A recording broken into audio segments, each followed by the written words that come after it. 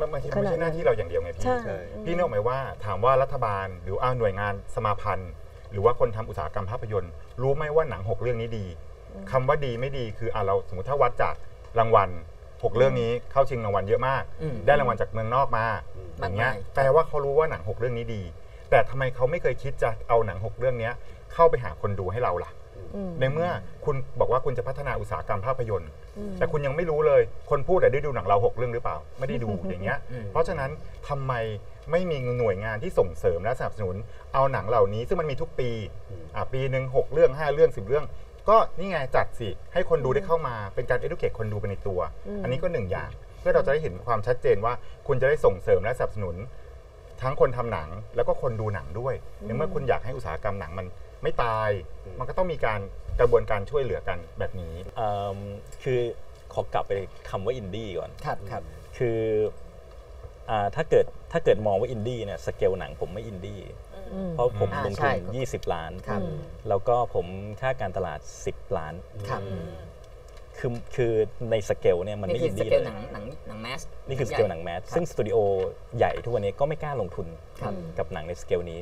แต่ว่าถามว่าทำไมเราถึงกล้าเพราะเราโอเคเรามีตลาด 2 ประเทศครับโอเคแต่ว่าปัญหาหนึ่งว่าต่อให้เราซื้อสื่อคือโปสเตอร์ที่ขึ้นในโรงหนังดิจิตอลเนี่ยเราก็ต้องจ่ายใช่ไหมทุกวันนี้ซึ่งเป็นเป็นครั้งแรก ในรอบหลายสิบปีครับเออในประวัติศาสตร์ชาติไทย เดี๋ยวเราจะคุยกันโปสเตอร์เดี๋ยวจะคุยกันครับดิจิตอลโปสเตอร์อะไรเงี้ยครับเอ่อโอเคค่าการตลาดที่ถเอ่อถมลงไปเนี่ยส่วนใหญ่ก็เกิดขึ้นที่ฝั่งไทยเพ ราะว่าต้องซื้อสื่อเยอะ แต่ว่าไอ้ภาพเนี้ยสำหรับนักวิชาการสำหรับคนที่รู้จักมากคนที่เคยไปเที่ยวพม่าบอกก็เป็นอย่างนี้แหละนี่คือพม่าในแบบที่พนี่ม่าแบบเป็นพม่าเป็นครับนี่แบบพม่าเป็น แต่เราเนี่ยอ่าคนส่วนใหญ่เนี่ยกลับมองพม่าในแบบเพิงพระนางอืมหรือตอนนั้นก็จะมีละครช่องเจ็ดอ่ามารีลันเรื่องหนึ่งซึ่งก็เป็นละครแบบแบบนั้นอะไรเงี้ยครับ ซึ่งคือคือมันไม่สามารถก้าวข้ามกรอบทัศน์เอ่ออมได้อะไรเงี้ย ครับคือผมคิดว่าเรากำลังอยู่ในลักษณะของว่าคนมองอินดี้เพราะเป็นกรอบทัศน์ชนิดหนึ่ง ว่าโดยการดูยากหรืออะไรพวกนี้หรือว่าลงทุนต่ำเนี่ยครับมันไม่ใช่นะฮะครับ independent มันคืออิสระ อิสระในแง่ที่ว่าไม่ได้ถูกสร้างโดยสตูดิโอใหญ่นะฮะมันไม่ได้จำกัดเท่านั้นเองใช่ไหมฮะเพราะว่าหนังแค่นั้นที่เองมีเมื่อปีก่อนก็ 20 กว่าล้านนะฮะใช่ใช่ครับทุนสร้างระดับประมาณ20 กว่าล้านครับ Apprentice ที่กำลังจะเข้าที่เรมอนทำเนี่ยครับพี่ลีตัดเนี่ยอันนั้นก็ 40 ล้านบาทนะฮะอืมอืม คือคือมันไม่ใช่หนังเล็กคือไม่ใช่ตัวเลขน้อยๆเลยนะไม่ใช่ตัวเล็กน้อยๆไม่ใช่ตัวเล็กน้อยๆครับแต่ว่าไอ้การที่จะก้าวก้าวข้ามไอ้กรอบทัศน์คนดูเนี่ยมันไม่ใช่สิ่งที่มันจะทำกันได้โดยลำพังครับใช่ใช่ถ้าให้ผมสรุปจากที่เราคุยกันมาสักครู่เนี้ยนะครับก็เหมือนกับว่า ณตอนเนี้ยสภสภาพสภาวะการของหนังอินดี้มันก็มีหลักปัญหาหลักๆ คือสื่อสารกับผู้ชมพี่ก๊อฟบอกว่าไม่มีโอกาสได้เข้าไปสื่อสารกับผู้ชมมากนักใช่อาจจะเป็นเพราะเหตุผลหนึ่งสองสามสี่ว่าไปนะครับ กับ 2 คือเมื่อกี้เหมือนพี่สิบจะพูดประมาณว่า เรายังขาดการสนับสนุนจากจากใครก็ไม่รู้ล่ะนะฮะคุณนัทบอกว่ามันเป็นเรื่องของภาพภาพลักษณ์กระบวนทัศน์ที่ที่ที่ผู้ชมมองว่าหนังอินดี้มันจะต้องเป็นอย่างนี้ นี่คือสามปัญหาหลักๆหรือมียังมีปัญหาอื่นอีกไหมฮะที่ที่ที่หนังอินดี้เรายังพูดกันตรงๆ คือยังตะกุกตะกักกันอยู่อย่างนี้ก็อาจจะต้อง พวกเราเองด้วยมั้ง พวกเราเอง หมายถึงว่าผมคิดว่ามันก็มีปัญหาในในกลุ่มคนทำเองด้วยครับครับ ส่วนหนึ่งอะไรอย่างเงี้ยคครัรับบมันมีคนตั้งข้อสังเกตว่าก็เพราะว่าหนังอินดี้ชอบทำในเรื่องที่ที่มันชอบพูดในเรื่องที่มันมันชวนให้เกิดมีปัญหาปัญหาได้ง่าย ๆ อย่างเช่น หนังคุณหนังคุณใหม่ อะไรอย่างนี้เป็นต้นคือเรารู้สึกว่าคิดคิดว่ายังไงครับเรื่องนี้ป็น argument ที่เราไม่ไม่เชื่อเลยไม่เชื่ออะใช่ไหมแล้วเรารู้สึกว่ามันมันไม่มีความหมายเลยครัมันบครับมันแปลว่าอะไรเรายังไม่เข้าใจเลยด้วยอืมซ้ำอืมเรารู้สึกฮะว่ามันเป็นการที่เป็นอคติอะอืมอืมอืมโดยที่เอ่อสามารถใช้ argument นี้ได้กับหนังทุกแบบ ไม่ครับเฉพาะหนังอินดี้อะจริงๆต่อให้แล้วเป็นหนังอื่นถ้าเกิดว่าเรามีอคติแบบนั้น ใช่ครับอืมจริง ๆ ไม่ไม่แต่ว่าไม่รู้คนอื่นว่ามันคือเป็นคือจากประสบการณ์เนี่ยผมคิดว่าปัญหาเหล่านี้ในบ้านบ้านเมืองเราอะมันเกิดขึ้นเฉพาะตัวบุคคล แต่บังเอิญว่าบุคคลเหล่านั้นมีมีอำนาจในการตัดสินใจอืมคือคือมันไม่ใช่ว่าสังคมมีปัญหาครับกับประเด็นที่เรากำลังพูดถึง อืมเพราะมันยังไม่ได้ถูกนำไปเผยแพร่คุยกันออกไปหรือว่ามามาแลกเปลี่ยนกัน ครับแต่มันมีใครบางคนในบางบางจุดอืม ของกลไกในการนำเสนอเนี่ยที่ไม่พอใจ แล้วก็บอกให้หยุดบอกให้เลิก บอกให้ห้ามอย่างเงี้ยครับ อืม มันมันไม่ได้มาจากสังคมอะครับ อืมเพราะฉะนั้นเราจะมาบอกว่า หนังพวกเราเอ่อชอบไปกวนส้นตีนคนอื่นเขามันมันมันมันมันมันเรียกอย่างนั้นยังไม่ได้อืมเพราะเรายังไม่เคยแบบถูกสังคมประนามจากการทำสิ่งเหล่านี้ คือคำว่าหนังอินดี้มันต้องอิสระตรงนี้แหละอืมทำเรื่องอะไรก็ได้ อืม นี่คือผมว่านี่คือสปิริตของอินดี้เลย ครับ ไปจำกัดเราไม่ได้ นั้นคุณคุณยอมรับสิ คุณยอมรับเป็น content ที่แตกต่าง ในประเทศที่แตกต่างเลยแต่ประเทศเรามันทำไม่ได้อย่างนั้นไง อืม มันยอมรับความแตกต่างไม่ได้อืมมัน เสียดแทงบางอย่างก็ถูกห้ามแล้ว มหาลัยเอกชนเกือบถูกเซ็นเซอร์นะเพราะประโยคประโยคเดียวอืมอะไรเงี้ยผมบอกว่าเอ้ออะไรวะ ใช่ไหมนั่นอ่อนไหวเหลือเกินคำว่าใครอืมที่เป็นคนคุมศีลธรรมอืมคนคุมสติปัญญาคน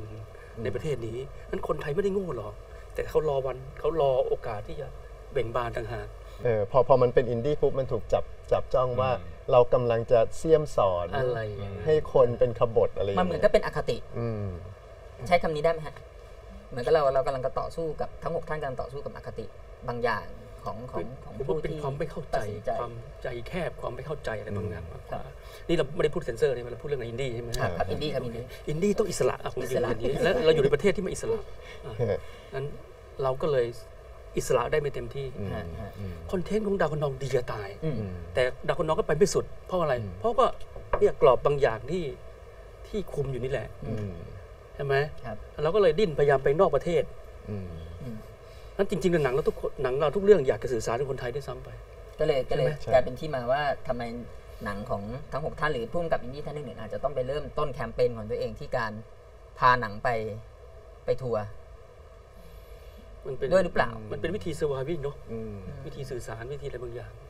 แต่จริง ๆ แล้วอคติในแง่เนี้ยมันอคติจากสมมติถ้าพูดถึงว่าเป็นหน่วยงานราชการหรืออะไรอย่างเงี้ยเราเรายังรู้สึกว่า โอเคเราเราเราเราพอเห็นอยู่ แต่อคติจากคนดูเนี่ยเราว่าอันนี้น่ากลัว ครับ เช่นแบบยังไม่ทันได้ดูเลย แล้วก็มีอคติว่า โอ้ยหนังเรื่องนี้มันต้องแบบสร้างปัญหาแน่เลยอืมมันก็มีอยู่นะใน social network หรือว่าคนทำแบบเนี้ยอย่างเงี้ยหน้าตาแบบปราบดาเนี่ยต้องเป็นแบบเนี่ยคนทำหนังลักษณะอย่างนี้ก็คงจะแบบเขาก็คงไม่ไปดูหรอกเพราะเขารู้เลยว่าหนังมันจะต้องแบบไม่น่าแบบมันต้องยากดูไม่รู้เรื่องดูไม่รู้เรื่อง คือจริงๆ อยากจะกลับไปประเด็นที่นัดพูดว่าทำยังไงถึงจะ ให้วัฒนธรรมการดูหนังของคนคนไทยเนี่ยเปิดกว้างมากขึ้นอะโดยที่เรารู้สึกว่าตอนนี้มันก็เป็นอย่างที่บอกคือจะรู้สึกว่าเหมือนกับเอออันไหนที่ไม่ใช่หนังที่เราไม่อยากดู หรือไม่ใช่แนวเราเราก็ไม่ดูแต่ แต่เรารู้สึกว่ามันเป็นอะไรที่มันสามารถเปลี่ยนได้นะ พฤติกรรมการดูอะ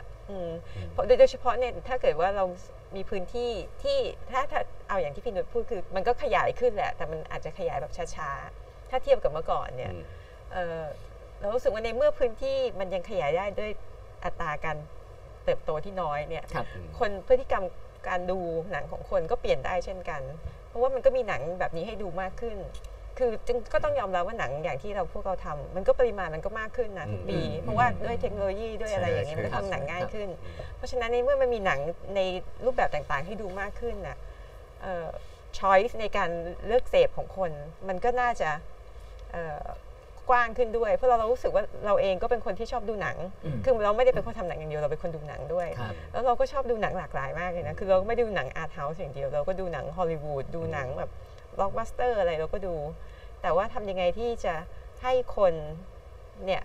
ทั่วไปเนี่ยมีแนวคิดเปิดกว้างบ้างในในการเส พภาพยนตร์อะถ้าเกิดว่าหน่วยงาน ถ้าเกิดเขาเห็นว่าหนังพวกเราเนี่ยโอเค พอมีคุณภาพอยู่บ้างในการได้เข้าชิงรางวัลครับ ทำไมถึงไม่จัดโปรแกรมอืม อะแทนที่พี่กอฟต้องทำเองพาไปตามมหาวิทยาลัยต่างๆแล้วก็ทำไมไปเป็ไม่นมีตัวแทนหน่วยบอกงานถ้าอยากได้ดาวคะนองอยากได้มหาสมุทรอยากได้ทงมาบอกนะ เดี๋ยวจะพาไปเดี๋ยวอันนี้อันนี้เป็นในหน้าด้วยในหน้าเองด้วยทำไมถึงไม่มีหน่วยงานทำตรงใช่นี้เนี่ยทำเองแล้วเขาอยากได้ไหม อยากได้อยากได้พี่สืบหนูก็ยังบอกว่าเดี๋ยวหนูติดต่อให้หมดเลยอะไรอย่างเงี้ยบอกว่าบอกพี่มาเลยเดี๋ยวพี่ติดต่อให้ทั้ง ทั้งหมดเลยเดี๋ยวพาไป เพราะว่าการไปตรงนั้นน่ะบรรยากาศมันดีมากเลยนะฮะอือฮึมันทำให้คนดูเนี่ยได้ดูหนังเรา แล้วก็ได้ได้ได้แลกเปลี่ยนเรียนรู้อะอืมเราก็ได้รู้จักเขาฟีดแบ็โดยตรง แล้วเราเขาก็ได้รู้จักเรา แล้วเขาก็ได้ได้เห็นหนังแบบที่ปกติเขาไม่เดินซื้อตั๋วเข้าไปดูแน่นอนอย่างเงี้ย แล้วทำไมไม่มีคนทำอะแล้วมันทำไมก็จะพี่ต้องไปเดินทำเองปลี่ยนะเพราะว่าเขาก็จะเป็นรุ่นส่งต่อไปเรื่อยๆใช่อเพราะถ้าแก่กว่านี้ก็ที่มันไม่ดูอยู่แล้วก็ปล่อยตายไปรุ่นใหม่นี้แบบว่าใช่โอเครุ่นใหม่ใช่ทำไมถึงอยากให้มีหลักสูตรภาพยนตร์ครับ อย่างแรกเลย คือเราอะไปไปไปเทศกาลหนัง แล้วเราก็ไปเทศกาลหนังสั้นแล้วก็เจอคุณป้าคุณยายคุณย่าพาหลานไปดูพาลูกไปดู โปรแกรมเด็ดหนังสั้นออกมาปุ๊บก็มาคุยกันแล้วเห็นเลยว่าคนแก่กับเด็กคุยกัน แลกเปลี่ยนเรียนรู้สิ่งที่ได้ดูมา ไม่ได้บอกว่าผู้ใหญ่เขาไปสอนให้เด็กบอกว่าอย่างนั้นอย่างนี้นะเด็กก็พูดว่าเขารู้สึกยังไง ผู้ใหญ่ก็บอกว่าสิ่งที่ได้ดูมันเป็นยังไงแปลว่ามีการยอมรับความคิดเห็นจากคนต่างรุ่น แต่ถ้า และและแล้วก็เลยคิดต่อว่า ถ้าเรามีการเรียนการสอนภาพยนตร์ เอาหนังสั้นไปให้เด็กดู แล้วก็ให้เด็กคิดวิพากษ์วิจารณ์ เด็กสิบคนในห้องอาจจะคิดไม่เหมือนกันเลย แล้วมันก็เป็นการฝึกหนึ่งฝึกจินตนาการฝึกความคิดสองคือฝึกให้รับฟังความคิดเห็นของคนอื่น อันนี้คือพื้นฐานของการอยู่ร่วมกันในสังคม เราถึงรู้สึกไงว่ามันต้องมีการคิดถึงการลงทุนในการ educate คนอะใช่ครับมันไม่ใช่แค่ว่า เราพูดกันไปเรื่อยๆแล้วมันไม่มีมันต้องหาไงหาว่าเราทำยังไงให้เกิดการว่าเราจะลงทุนยังไง แล้วใครบ้างจะเป็นส่วนร่วมในการลงทุนเพื่อจะ educate คนดู อาจจะเป็นตั้งแต่เรื่องหลักสูตรอาจจะเป็นเรื่องการทำให้เกิดแพลตฟอร์มสำหรับหนังที่คุณคิดว่ามันสำคัญ ครับ คุณคิดว่ามันอยู่ในการประกวด คุณก็จะทำยังไงที่จะเป็นทัวร์ทัวร์มันเข้าสู่ไปที่ต่างๆไงครับเพราะทุกวันนี้ทุกอย่างมันก็อยู่ที่กรุงเทพที่เดียวซึ่งจริงๆแล้วเรารู้สึกว่าในต่างจังหวัดในหัวเมืองไม่ใช่เป็นที่ที่คนจำนวนมากที่เขาก็อยากดูหนังแบบนี้ แต่เขาเข้าไม่ถึงซึ่งพี่สิบขยับแล้วในแง่นี้พี่สิบขยับแล้ว แต่ถ้าพูดจริงๆแล้วพอไปถึงจริงอะค่ะซึ่งจริงๆแนทน่าจะพูดได้ มันก็จะไปดันไปสู่เรื่องของพื้นที่ของโรงที่มีเรื่องสายหนังเรื่องอะไรอีก ซึ่งอันเนี้ยทำยังไงที่มันจะแทรกแซงสิ่งเหล่านี้ได้ใช่ไหมที่ทำให้หนังแบบนี้มันไปสู่ในหัวเมืองได้ด้วยเหมือนกัน เราคิดว่ามันต้องเป็นองค์รวมอะค่ะในการที่จะพัฒนาแล้วก็ลงทุนของการที่จะทำให้เกิดการพัฒนาโดยรวมมันไม่ใช่แค่ เรื่องคนดูอาจจะต้องเป็นสื่อด้วยเหมือนกัน แล้วว่าใช่สื่อเองก็ต้องถูกพัฒนาด้วยเหมือนกันใช่ต้องถูก educate อย่างมากอืมคือผมขอยกตัวอย่างครับชีวิตวัยเด็กครับเราก็เด็กต่างจังหวัดนะเอ่อผมเป็นเด็กอุดรนะเสร็จแล้วผมได้ดูหนังเรื่องซึ่งเปลี่ยนชีวิตผม มันชื่อว่า Dead Poet Society เดฟเวอร์ ซ c i ตี้ซึ่งได้ดูเพราะสโมสรโรตารี่จัดรอบเดียวครับตอน4ี่โมงเย็นหลังเลิกเรียน ด้วยความที่เป็นเด็กที่ถ้าเดินกลับบ้านก็จะต้องผ่านโรงหนังก็จะแวะเข้าไปดูโปสเตอร์อะไรประมาณเนี้ยแล้ววันนั้นก็มีรอบนี้อยู่บอกเออเออพี่อยากดูอะไรเงี้ยเขาก็ให้ตั๋วเข้าไปนั่งดู แต่นั่นน่ะมันคือแบบภาพยนตร์ยังให้เกิดปัญญา เรากลับบ้านมาถามตัวเองว่าโตขึ้นเราอยากเป็นอะไรครับแล้วมันก็เลยตอนนั้นมันป .5 หรือป .6 จำไม่ได้ ประมาณม .2 เราก็รู้แล้วว่าเราอยากทำหนัง คือแล้วแล้วแล้วหนังเรื่องนั้นเนี่ยมันไม่แค่เปลี่ยนเราแต่ว่าเรารู้สึกว่าถ้าเราจะทำหนังเราต้องทำในสิ่งที่เรารับผิดชอบ คือผมเชื่อว่าทุกคนเนี่ยต่อให้ทำหนังล่อเป้าล่อตีนอะไรแค่ไหนเนี่ยแต่ทุกคนเนี่ยต้องการสร้างสังคมที่ดีขึ้น แล้วเป็นสังคมที่มีปัญญาครับนะฮะครับคิดว่าตรงเนี้ยมันคือตอนนี้สถานการณ์มันดีขึ้นละ แต่ว่าอย่างหนึ่งที่เราหายไป แต่ก่อนวันเด็กผมจะได้ดูหนังฟรี ตอนนี้ทุกโรงจะเข้าไปดูหนังฟรี แล้วก็จะมีโปรแกรมแบบสำหรับเด็กครับที่จะเข้ากับวันเด็ก เดี๋ยวนี้ไม่เห็นมีเลยฮะ